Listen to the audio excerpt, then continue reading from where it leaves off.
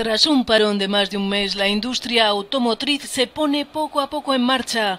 Renault reabrirá parcialmente su planta en Le Mans el 26 de abril. En Italia, Ferrari ha lanzado un plan para sus 4.000 empleados de la planta de Módena. Y Suzuki en Estergom, Hungría, reabrirá el próximo miércoles. Siguen a la planta de Toyota en Francia, parcialmente abierta desde el 21 de abril, para responder a encargos pendientes de unos 35.000 vehículos.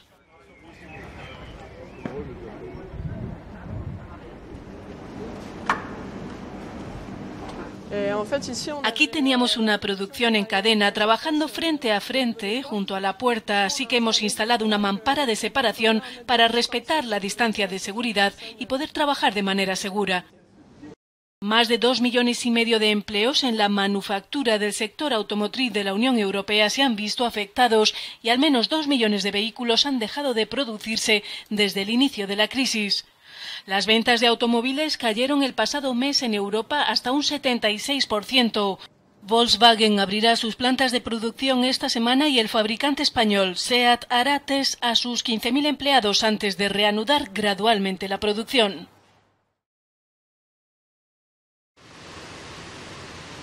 Una pregunta flota en el ambiente en Francia desde hace meses. ¿Dónde están todas las mascarillas? Las miradas siempre se dirigían a Asia, desde donde se importa una gran cantidad.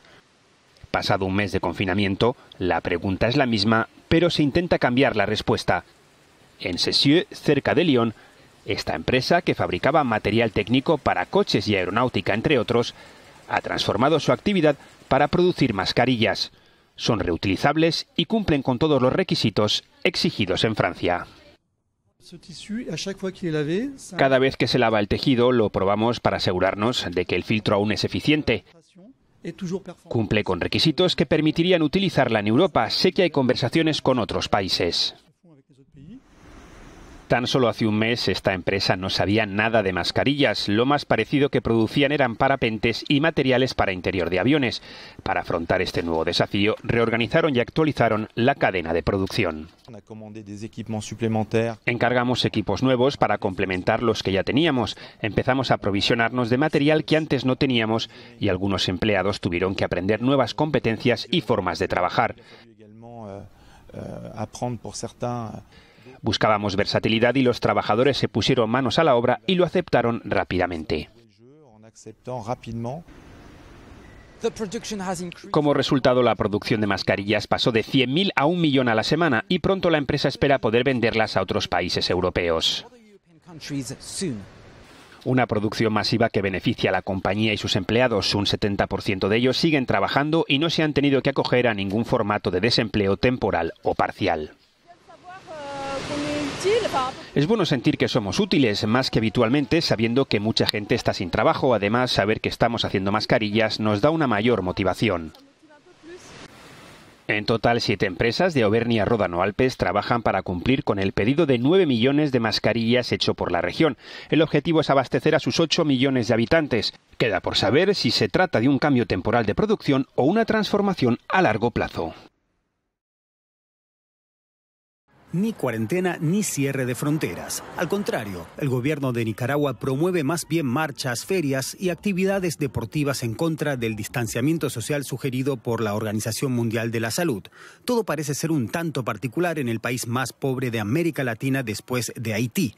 Tan particular que esta semana su presidente Daniel Ortega reapareció públicamente después de 34 días en los que se especuló sobre su paradero y su salud.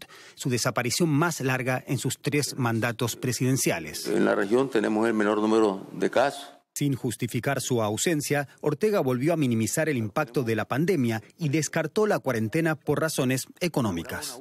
En medio de esta pandemia no se ha dejado de trabajar, porque aquí si se deja de trabajar, el país se muere. Y si el país se muere, el pueblo se muere, se extingue. Y como el país no para, tampoco para la pelota. Nicaragua comparte junto a Bielorrusia, Taiwán, Tayikistán y Turkmenistán el dudoso honor de tener una de las cinco únicas ligas del mundo que no se suspendieron. No son en todo caso las más atractivas para los aficionados del fútbol. Ninguno de estos países ha disputado un mundial en su historia. Muchos jugadores denuncian amenazas de despido en caso de negarse a jugar. Unos pocos extranjeros lograron rescindir sus contratos. Otros por ahora confían en la postura oficial. Es una decisión que se toma en consenso con el Ministerio de Salud, el MINSA. Ellos eh, han tomado algunas medidas de prevención, como eh, algunas medidas que tenemos que tomar antes de, empezar el partido, eh, jugar a puerta cerrada y bueno, estamos cumpliendo las normas. Hay criterios que estamos arriesgando nuestras vidas, otros que como nosotros pensamos que estamos haciendo lo que nos gusta, protegiéndonos lo mejor posible. El deporte en Nicaragua sigue como si no existiera la pandemia, pero no reaccionar a tiempo puede terminar en un golpe fatal para todo un país cuáles son los pacientes que debieran ser aislados. Número uno, si yo tuve un contacto con alguien que tiene una prueba positiva de COVID y mi contacto fue significativo en términos de cercanía y también en términos quizás de tiempo, pasé una hora junto o más, pues definitivamente que eso es un paciente que pudo haberse contaminado durante ese tiempo y debiera aislarse hasta que podamos ver si el paciente va a desarrollar síntomas o no, o hasta que podamos hacer una prueba para el COVID. La recomendación ha sido 14 días de aislamiento. ¿Cuál es la razón de los 14 días? Que usualmente la enfermedad inicia o al día 2 o en algún transcurso hasta el día 14. Ahora, tenemos nuevas evidencias que hay pacientes asintomáticos que pudieran todavía excretar el virus. Pero la realidad es, a la luz de los estudios que han salido y sobre todo los estudios viniendo de Alemania, que si yo me contaminé hoy en un contacto de ese tipo y por los próximos 14 días yo no hago ningún síntoma, asumiendo que al día 14 me hicieran una prueba y diera COVID eh, positivo, todavía la gente tiende a permanecer o a ser recomendada que permanezca aislada. Sin embargo, los estudios han demostrado que las microgotas que esas personas pudieran eliminar a partir de ahí uh, tienen una carga viral de menos de 100.000 copias y que esas, uh, esas microgotas probablemente no sean infecciosas.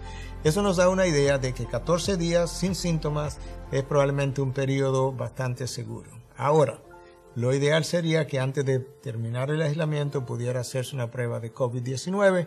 Sin embargo, el servicio de salud está tan sobrecargado que quizás eso no sea posible en todos los casos, en cuyo caso debemos usar esa otra regla para mantenernos aislados.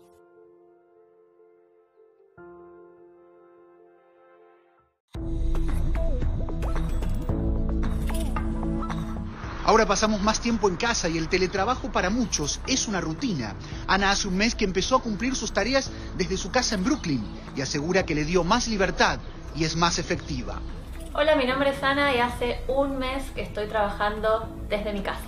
Con mis compañeros de trabajo pudimos por suerte adaptarnos muy rápido a este cambio tan brusco en nuestra modalidad de trabajo y siento que gracias a la tecnología lo pudimos hacer súper bien. Hoy más del 80% de las empresas del mundo tienen empleados trabajando en sus casas. Bueno, si bien creo que descubrimos una nueva forma de trabajar y me encanta estar en mi casa, y estar con mi familia. Eh, en lo personal, extraño sí el contacto físico con mi equipo de trabajo, pero pudimos eh, darle un giro muy interesante a nuestra actividad laboral diaria. Consultamos a Santiago Bilinkis, especialista en nuevas tecnologías y autor del libro Guía para sobrevivir al presente. Así nos relataba las dificultades del teletrabajo.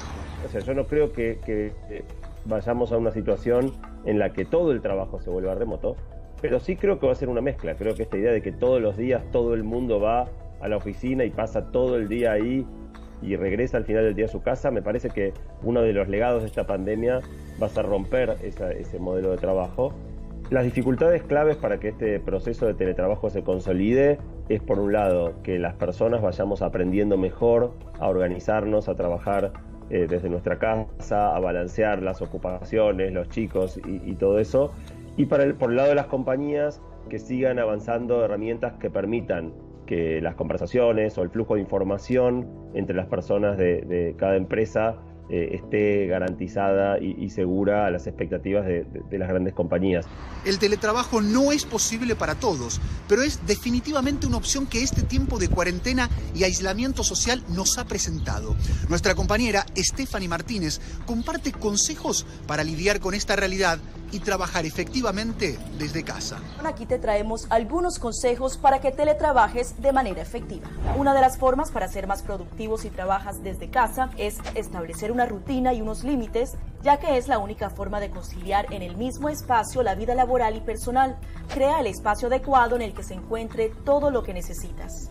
Evita distracciones Implementa una red privada virtual o VPN para crear una conexión encriptada desde tu computadora hasta el sistema de la empresa. De esta manera podrás acceder a la información y mantener la conexión segura. Consiga aplicaciones como Skype o Zoom para llevar a cabo reuniones a distancia y mantén comunicación con los colegas a través de aplicaciones como Slack